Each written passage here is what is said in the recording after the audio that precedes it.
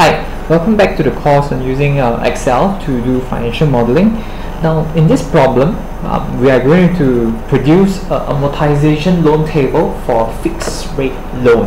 Alright, so um, we know that uh, amortized loan uh, is often used for example like for housing loans in which uh, some our interest payments, uh, some of the component will be attributed to pay off the principal and the rest will be for the interest uh, component alright? So the aim of this is to use Excel to generate a loan amortization table.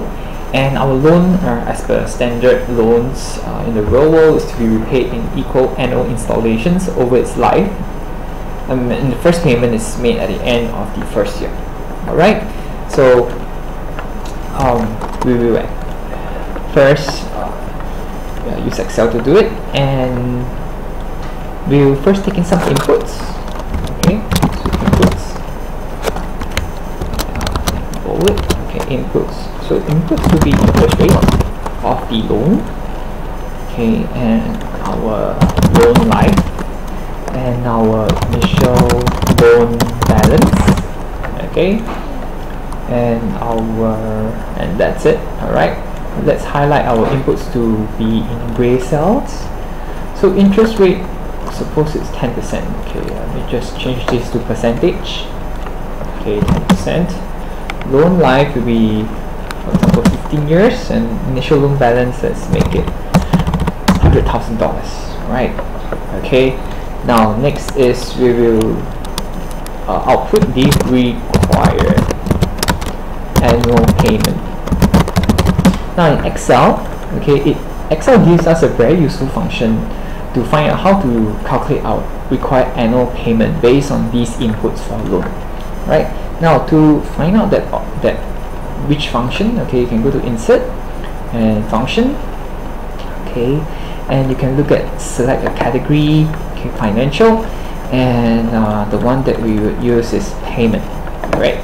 So if you look at the description says calculates the payment for a loan based on constant payments and constant interest rate which is what we want over here. So click it OK and we will see what values it gives us. Now first okay enter interest rate per period of the loan okay? Interest period interest rate will be here okay? Now will be number of payments for the loan alright? Okay number of payments would be uh, we're making annual payments so is this right? And also our present value which is the total amount um, the present amount that we have loaned. So we'll be here and then click here and that's it. Okay? So it gives us a negative number but this is because uh, we can change this by giving a negative PV okay? So the by convention it will give us a positive number Alright, now in Excel, uh, you can notice that in our formula over here, we are referring to our cell references as the uh, column and the row, right? Okay, but actually, alternatively, you can name them as well. For example, you can name this interest rate. Say I'm going to give it a name. I call it IR, interest rate. I can just click on it, and under this name box here, I put IR, and um, oops, let me just delete this previous. Yep, okay I can name this uh, IR okay. I can name this uh, loan life be N okay. N stands for number of years. Initial loan balance I'll P okay. So what it means is that I can refer to these cells with the nicknames given here okay. IR and uh, N and P alright. And I can change all this as well. So rate is IR for example and this uh, number of periods n and p I'll just put t over here. And I'll still have um, the required payment. So this is the required annual payment that I have to pay off for the, uh, for the next 15 years to repay my loan balance.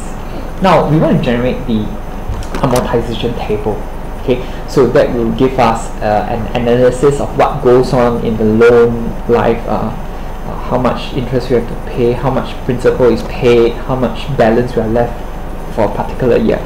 So to do that, let's have a couple of labels first. So we can have the year. Okay, uh, year will be meaning from year 1 okay to year 2 and or we can just drag it on until 20 we can have more okay we can have a year of beginning balance okay we can so how much loan we have left uh, in the beginning of this year? Now in the beginning of year 1 okay the beginning balance will be the same as our initial loan balance. I can just do this straight away. And see that it refers to the cell as P okay? Doesn't have to necessarily be B4 okay? So year beginning balance and then uh, annual payment that I have to make okay? Annual payment okay? Annual payment will obviously be this alright but if I want to do a better check okay that is um, I can do this. If okay if um, my year okay exceeds okay my number of uh, loan life then I know I'll output a zero okay. Else I'll just output my annual payment okay uh, which is uh, uh, payment yep over here okay okay so why, why did I do this if check?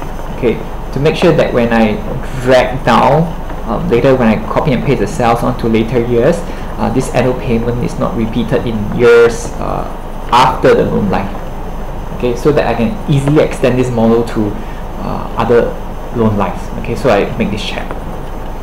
Okay and similarly I can name my payment also. I can name it let's, let's say for example uh, payment. Okay? And then I can refer to this as payment. PPT okay still give me the same same? Okay. Now other columns that I will want um, I would say uh, all my annual payment how much goes to interest?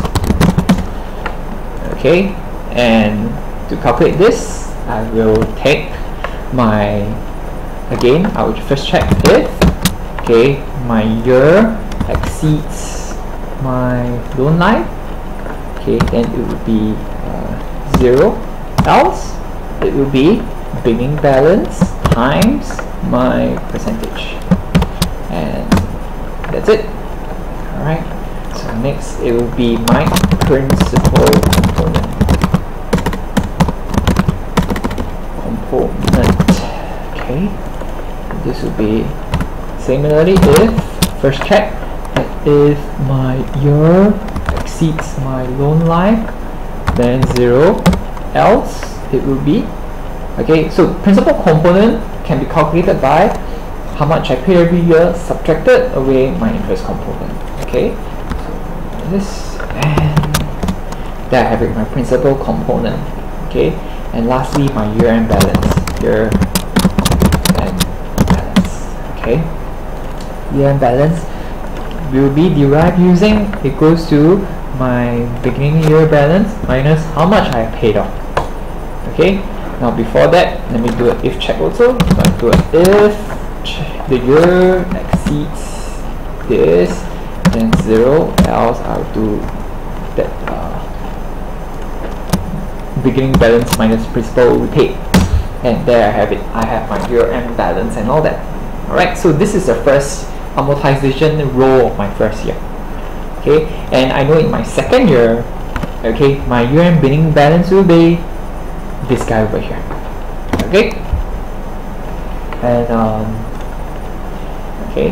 Now for the rest I can just cut and paste and drag and drop.